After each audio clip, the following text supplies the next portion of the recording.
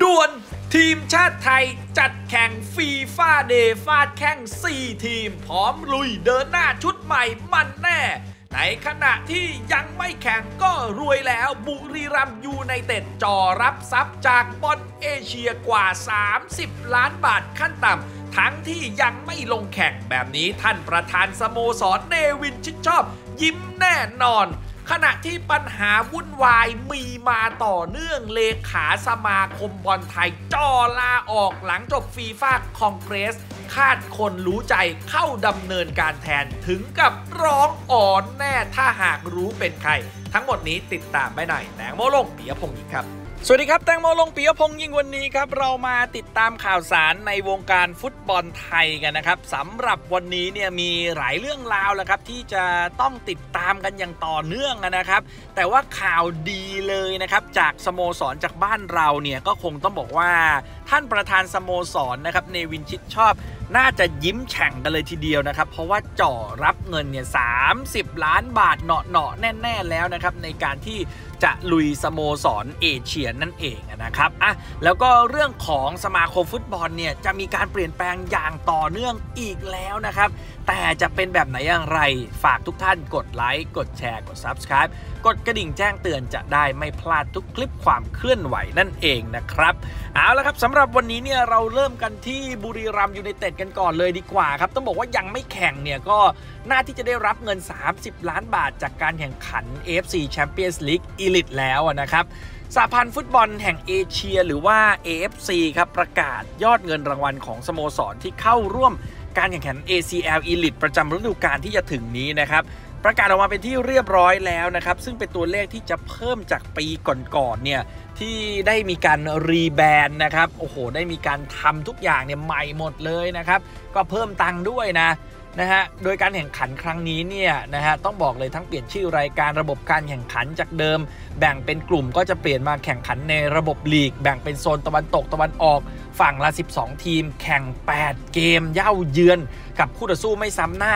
โดย 8 อันดับแรกของแต่ละโซนจะได้ผ่านเข้าไปเล่นในรอบน็อกเอาท์นะครับเงินรางวัลเนี่ยลองดูนะครับเงินรางวัล FC จะจ่ายเป็นรอบๆดังนี้นะครับรอบลีกเนี่ย 8แสนดอลลาร์สหรัฐหรือ 30 ล้านบาทก็ได้แน่ๆครับ รอบ 16 ทีมนะครับ2แสนดอลลาร์สหรัฐนะครับหรือประมาณ 7.5 ล้านบาทนะครับรอบ 8 ทีมนะครับ 8 ทีมเนี่ย4แสนนะครับ4แสนดอลลาร์สหรัฐหรือ 15 ล้านบาทนั่นเองนะครับ รอบรองชนะเลิศประมาณ 6 0แสนดอลลาร์หรือ 22 ล้าน โอ้โห นี่นับรวม ๆ ไปแล้ว รองแชมป์นะฮะ รอบรองแชมป์นะครับ4ล้านดอลลาร์ 150 ล้านบาท และแชมป์รับไปเลยครับ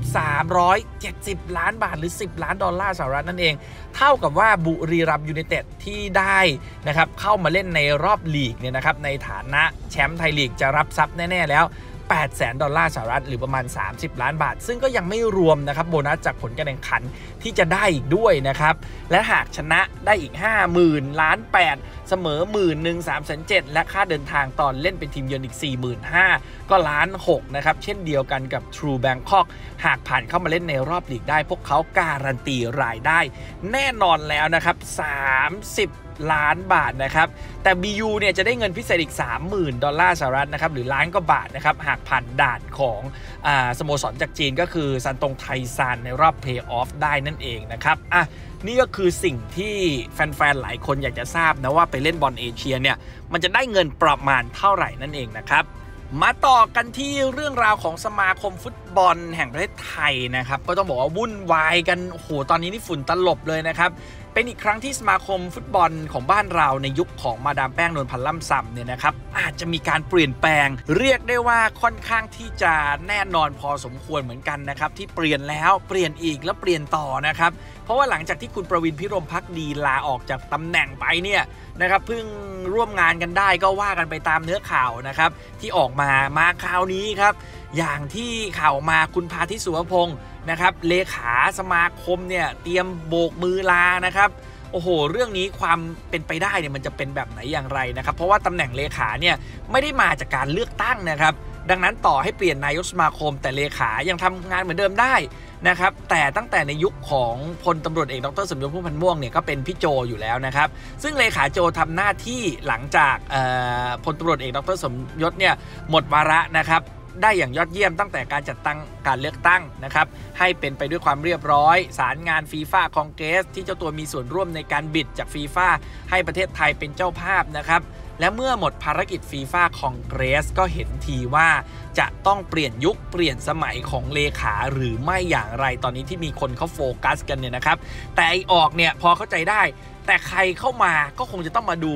สาเหตุก็เพราะเพื่อให้สภากรรมการชุดใหม่เนี่ยได้มีโอกาสเลือก นะคนที่เขาต้องการเอาว่าอย่างนี้เถอะนะฮะแต่ที่แน่ๆพี่โจเนี่ยน่าจะแสดงสปิริตด้วยการลาออกอย่างแน่นอนนะครับ ส่วนจะตั้งคนเดิมหรือว่าอย่างไรก็ก็เดี๋ยวต้องดูนะครับ แต่มีคอลัมนิสหรือว่ากูรูฟุตบอลไทยเนี่ยในระดับซีเนียเนี่ยนะครับเขาก็ออกมาเปิดเผยเรื่องราวนะครับ ตอนแรกเนี่ยนะฮะพี่อ๋อวังโอ่งเขาก็โพสต์ว้ว่าข่าวล่ามาดึกนานๆออก จากบ้านไปแถวสนามกีฬา สมาคมฟุตบอลไทยจะเปลี่ยนตัวเลขาคนใหม่หน้าเก่าบอกได้แค่นี้จริง ๆ รอเขาเปิดตัวจะร้องอ๋อแล้วก็หลังจากนั้นนะครับก็เป็นพี่เบิลเนี่ยมาโพสต์นะครับใน Facebook ต่อนะครับบอกว่าไปสืบมาแล้วว่าเลขาโจเนี่ยที่อยู่มายาวนานเนี่ยนะครับน่าจะเตรียม bye bye จริง ๆ แล้วแหละนะครับคืออาจจะลาออก เหลือผลอย่างเป็นทางการเท่านั้น เรื่องนี้ตอนแรกไม่ได้แปลกใจ เพราะคิดไว้อยู่แล้วว่าจบฟีฟ่าของเกส ก็ต้องเป็นงานสารต่อจากสมาคม ยุคที่แล้วเสร็จสิ้นก็อาจจะมีการเปลี่ยนแปลงนะครับ แววว่าสาเหตุเป็นเรื่องของการทำงานนั่นแหละ แต่จะมีปัญหาอะไรแค่ไหนไม่รู้ รู้แค่ว่าการเปลี่ยนแปลงตำแหน่งเลขาธิการสมาคมกำลังจะเกิดขึ้นแน่นอนนะครับ แต่น่าสนใจที่บอกว่านะครับเลขาคนใหม่หน้าเก่าเนี่ยนะครับเป็นใครกันแน่ ตรงนี้น่าสนใจใครคือคนที่จะมาเป็นเลขานะครับ ซึ่งแน่นอนแหละครับว่าก็จะต้องเป็นคนที่นายกสมาคมเนี่ยไว้ใจเป็นที่สุดและพี่บับเบิลก็ทิ้งทายว่า คนที่คุณก็รู้ว่าใครเอ้าเอาเป็นว่าทั้งหมดทั้งมวลต้องรอนะฮะการประกาศอย่างเป็นทางการ แต่ว่าก็มีตัวหลักๆเลยนะ ที่เขาวางไว้ แต่มีอีกหนึ่งกระแสข่าวที่บอกว่าไม่ใช่แน่ ๆ นะครับ ไม่ใช่บิ๊กเปียกองอาจกรอสินค้าเจ้าของฉายามิสเตอร์โอเคนะครับ ซึ่งเคยเป็นเลขาธิการสมาคมสมัยบังยีวรวีร์ มะกูดี มีชื่อเข้ามาอยู่ในข่าวลือจัดสนุกถูกเสนอชื่อเป็นเลขาธิการคนใหม่อีกครั้ง เรื่องนี้มีรายงานว่าไม่ได้เป็นความจริงเนื่องจากจากเจ้าตัวเป็นที่ปรึกษาส่วนตัวของมาดามอยู่แล้วนะครับเป็นประธานสโมสรการท่าเรืออีกทางบิ๊กเปียกนะครับต้องบอกว่าอายุค่อนข้างมากแล้ว ห่างหายไปจากการบริหารงานสมาคมนานพอสมควรฉะนั้น จึงไม่อยู่ในข่ายที่จะถูกเสนอชื่อแน่นอนนะครับอะนี่ก็เป็นข่าวข่าวที่ออกมาจากวงในแล้วมีการเปลี่ยนแปลงกันอีกนะฮะแต่สุดท้ายแล้วเดี๋ยวรอสมาคมแถลงครับ เพราะว่ามันยังต้องการความชัดเจนอีกพอสมควร เพราะว่าถ้าเลือกตำแหน่งนี้ไม่ดีเนี่ย งานมันจะงอกเอานะครับ และมาปิดท้ายกันด้วยข่าวของทีมชาติไทยครับ ตอนนี้เราเตรียมตัวแต่งตัวกันแล้วนะครับ ทีมชาติไทยของเราเตรียมแข่งฟุตบอล international A match เดือนตุลากันแล้วนะครับ ก็ดีแล้วครับ เตรียมวางแผนกันไว้ครับ เดี๋ยวจะหาทีมกันไม่ทัน เดี๋ยวจะหาเจ้าภาพกันไม่ทัน เดี๋ยวมันจะเป็นปัญหาอีกนะครับ ตามที่สมาคมฟุตบอลแห่งประเทศไทยเนี่ยนะครับ ก็มีแผนนะครับ ออกไปจัดที่ต่างจังหวัดเนี่ยแข่งฟีฟ่าเดย์ผมว่าก็โอ้โหนี่เป็นกระแสตอบรับอย่างยิ่งยวดแน่นอนนะครับสำหรับแฟนๆในแต่ละจังหวัดเนี่ยนะครับ หลังจากประสบความสำเร็จนะครับที่ทีมชาติไทยของเราเนี่ยไปแข่งศรีสะเกษเชียงใหม่นะฮะ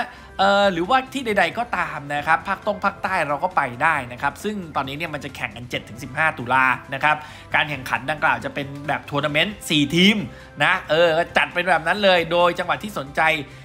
และมีความพร้อมจะเป็นเจ้าภาพในช่วงปฏิทิน FIFA Day สามารถแสดงความจำนงในการพัฒนาศักยภาพจัดการกีฬา แล้วก็มีการยกระดับนะฮะหลาย ๆ อย่างได้นะแต่ต้องมีความพร้อมพื้นฐานนะเขาก็ request มานะครับ สนามแข่งขันห้องปฏิบัติการสิ่งอำนวยความสะดวกนะฮะ ขั้นต่ำของไทยลีกหรือว่า AFC เนื่องจากเป็นทัวร์นาเมนต์ 4 ทีม ต้องมีสนามซ้อมอย่างน้อย 2 สนาม และห้องแต่งตัวของสนามแข่งขันอีก 4 ห้องนะครับไฟส่องสว่างนะครับสนามแข่งที่ได้มาตรฐาน สนามซ้อมที่ได้มาตรฐาน